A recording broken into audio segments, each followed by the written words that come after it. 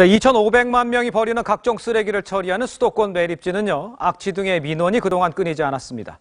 자, 하지만 요즘은요, 쓰레기를 재활용한 신재생에너지의 메카로 거듭나고 있다고 합니다. 보도에 이일주 기자입니다. 쓰레기를 매립하고 흙으로 덮은 모습이 광활한 사막을 연상케 합니다.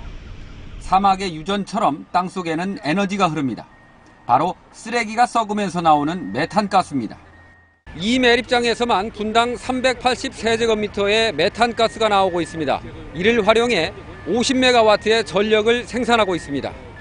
10만 가구가 쓸 수 있는 양입니다. 음식물 쓰레기로도 바이오 가스를 생산해 차량과 온실 연료 등으로 사용합니다. 생활 쓰레기와 건설 폐기물도 앞으로는 고형 연료로 재탄생됩니다. 매립이 아닌 예, 자원화 쪽으로 더 확충 시설이 된다면은 5년 내에 86%의 예, 자원화율을 높일 수 있습니다.